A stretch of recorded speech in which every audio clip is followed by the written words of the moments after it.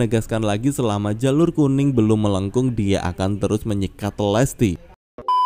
Assalamualaikum halo Lesla lovers apa kabar kalian Ketemu lagi nih dengan aku Joko di channelku Joko Purnomo Dan di video ini aku masih akan memberikan informasi seputaran Lesti dan Rizky Bilar Kali ini aku akan memberikan daftar 7 artis penyanyi ataupun selebgram yang diketahui terciduk menyimpan rasa dan jatuh hati kepada Lesti Kejora Kira-kira 7 artis ini siapa saja ya?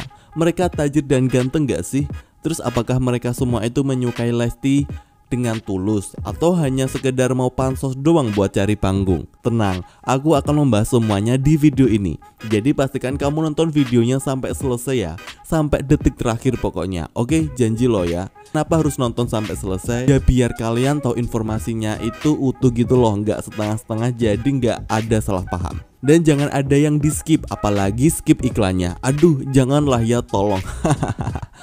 Oke sebelum kita mulai jika kamu mendukung dan suka dengan konten Leslar seperti ini Bantu saya dulu yuk buat like video ini dan yang paling penting klik tombol subscribe-nya ya Buat yang sudah like dan subscribe aku doakan semoga kalian selalu diberikan kesehatan dan rezeki yang melimpah Amin ya robbal alamin Oke deh tanpa berlama-lama lagi langsung saja kita mulai videonya Let's go Pria mana yang tidak tertarik dengan Lesti Kejora? Wanita yang sekarang sedang berada di puncak popularitas yang mempunyai segudang prestasi yang mana karyanya selalu diterima masyarakat dengan baik dan tidak pernah diterpa gosip negatif. Di usianya yang masih sangat muda sudah bisa membahagiakan orang tua dan keluarganya. Cantik, baik, humble, suka bercanda, jago bernyanyi, punya bisnis bergelimang harta tetapi tidak suka pamer dan menjadi inspirasi banyak orang. Sehingga Lesti ini menjadi sosok wanita idaman buat para pria di luar sana. Dan berikut 7 artis penyanyi ataupun selebgram yang terpincut dengan Lesti Kejora. Rizky DA Sudah menjadi rahasia umum ya jika Lesti Kejora sempat menjalin hubungan pacaran dengan pendangdut Rizky Safrudin atau yang kerap dikenal dengan Rizky DA. Keduanya menjalin hubungan pacaran selama 4 tahun sebelum akhirnya resmi putus. Baik Rizky maupun Lesti menegaskan bahwa alasan putus mereka bukan karena orang ketiga, melainkan keduanya sepakat untuk memperbaiki dirinya masing-masing.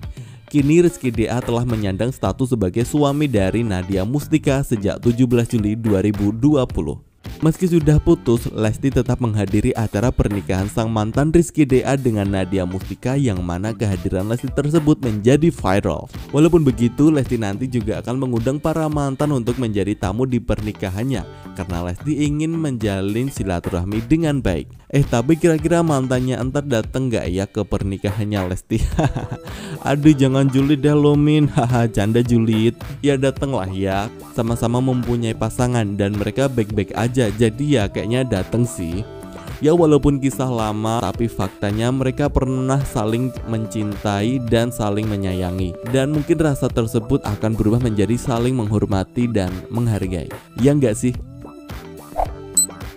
Faul Lida Akhir tahun 2019 Lesti Kejora diisukan dekat dengan Faul Lida setelah putus dari Rizky DA. Hal ini dikarenakan pendangdut asal Aceh itu mengunggah foto kebersamaan dengan Lesti di Instagram pribadinya.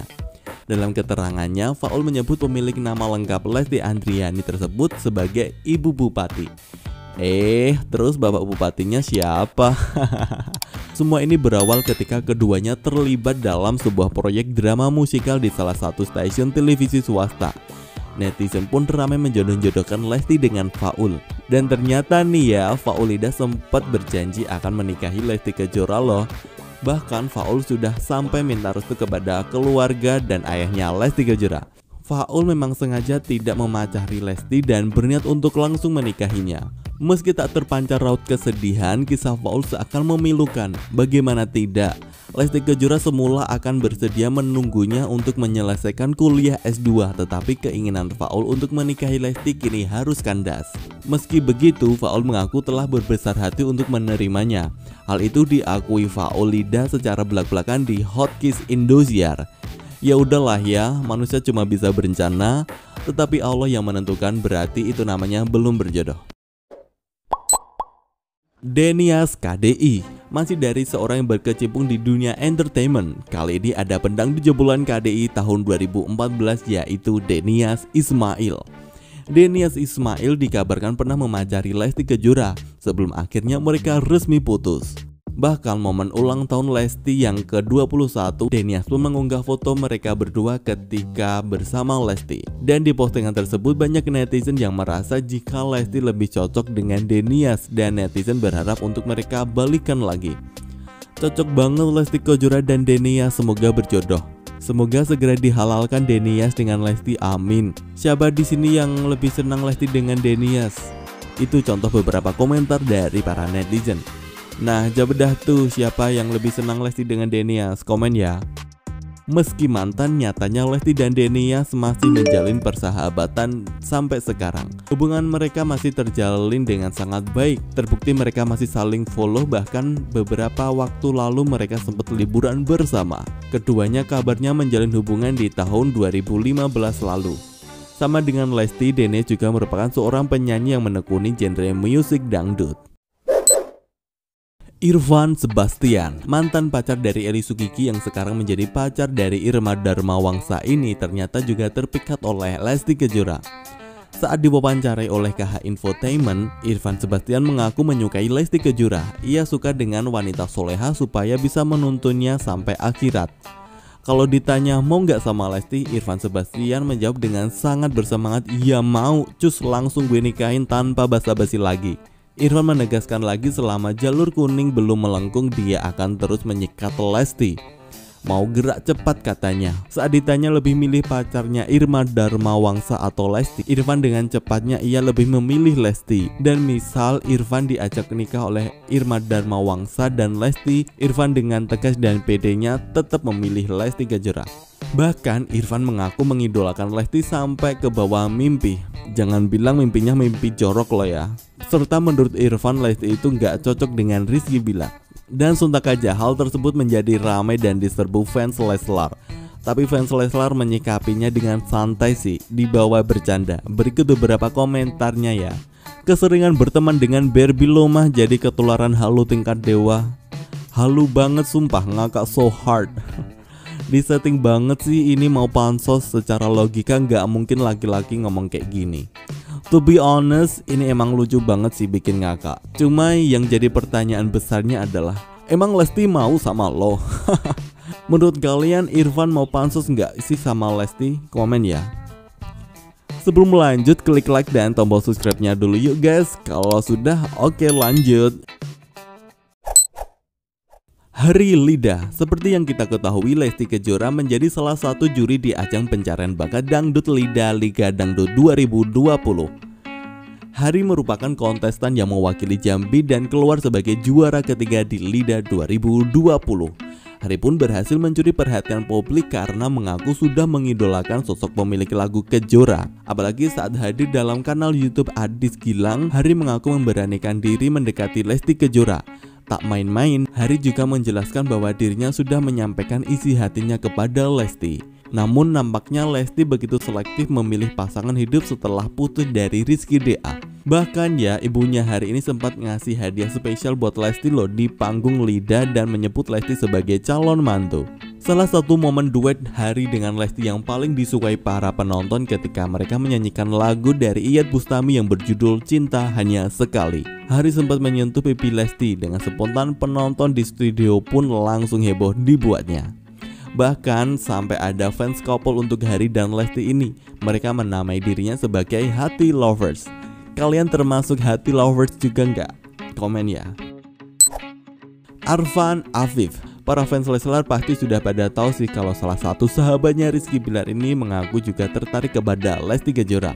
Jika Bilar nggak serius dan main-main saja, Arfan mengaku siap bersaing dengan Bilar untuk mendapatkan Lesti. Tapi guys, kalau menurutku itu hanya untuk memacu Bilar saja supaya lebih serius lagi ya. Bukan yang beneran ingin menikung sahabatnya sendiri dan sampai sekarang Lesti belum memfall back Afif. Yang sabar ya Van. Rizky Bilar. Last but not least we have Muhammad Rizky Bilar. Dari sekian banyak nama yang kusebutkan tadi Nama Rizky Bilar menjadi yang paling viral. Gak hanya viral di Indonesia Tapi viralnya juga nyampe ke negara tetangga. Dan Rizky Bilar ini juga beda dari nama-nama sebelumnya yang kusebutkan tadi. Kenapa berbeda? Jika sebelum-sebelumnya tadi mereka yang dengan sengaja mendekati Lesti, tapi pertemuan Bilar dan Lesti ini seolah sudah diatur oleh semesta, yang mana Bilar dan Lesti sama-sama mempunyai background cerita yang hampir-hampir sama. Kemudian dijodoh-jodohkan oleh netizen dan sampai akhirnya untuk pertama kalinya mereka dipertemukan di acara One Man Show. Dan semenjak pertemuan tersebut, netizen dibuat baper oleh keuangan Lesti dan Rizky Bilar sehingga terbentuklah fans Leslar Lovers. Lesti dan Bilar menjadi pasangan yang begitu fenomenal sampai sekarang.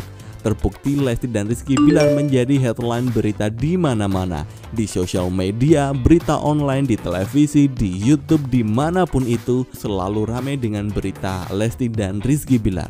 Karena menjadi pasangan yang begitu fenomenal membuat karir Lesti dan Rizky Bilar di dunia entertainment semakin naik dan semakin populer. Sehingga semakin banyak juga orang yang julid dan mau pansos sama mereka.